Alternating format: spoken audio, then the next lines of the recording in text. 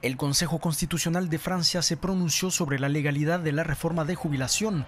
Este organismo francés, última esperanza para los millones de trabajadores franceses en esta crisis social, es encargado de hacer valer la constitucionalidad de las leyes. La reforma de jubilación se considera válida en partes.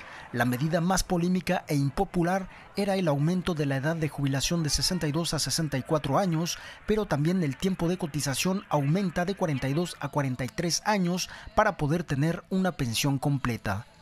Otra medida es el fin de los regímenes especiales. Desaparecerán para los nuevos contratos en el sistema de transporte de la región parisina, la industria eléctrica y de gas, así como los trabajadores del Banco de Francia.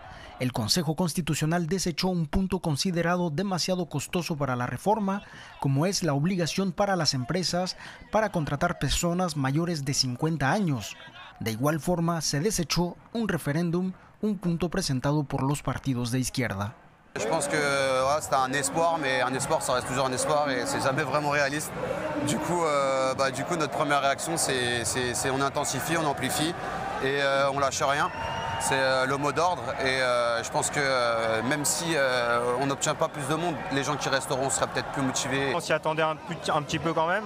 Donc bon, on avait préparé aussi un peu les, tous, nos, tous nos salariés à côté, les, camarades, tous les, tous les militants à se préparer à cette nouvelle et à, voilà, à vouloir continuer le mouvement, ne pas lâcher, continuer et exiger le retrait. Ça va continuer évidemment. Ouais. En cuanto al Parlamento, el Consejo Constitucional no consideró desechar la reforma a pesar de algunos vicios de procedimientos legislativos, como por ejemplo el haber presentado este proyecto dentro del presupuesto de la Ley de Seguridad Social y no presentándolo como una ley, buscando evitar el escenario de la primera reforma presentada a finales de 2019 en medio de la crisis de los chalecos amarillos y que le valió dar marcha atrás al gobierno.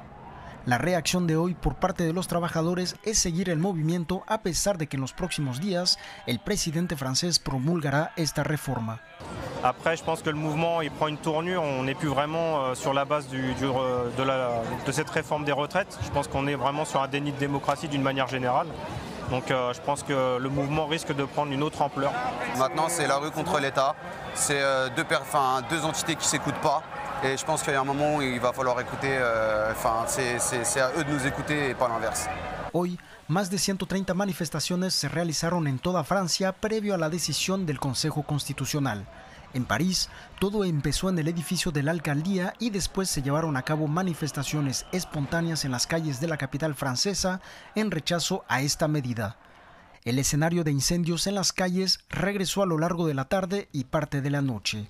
Los sindicatos mantienen una fuerte unidad, algo que no se veía en décadas en Francia, y han rechazado todo tipo de diálogo con el presidente Emmanuel Macron. La próxima cita será en las calles el primero de mayo, Día del Trabajador. Esta ha sido la reacción de los franceses después de la aceptación por parte del Consejo Constitucional de aprobar la reforma de jubilación que pasa de 62 a 64 años. Desde París informó para Canal 14 Miguel Martínez.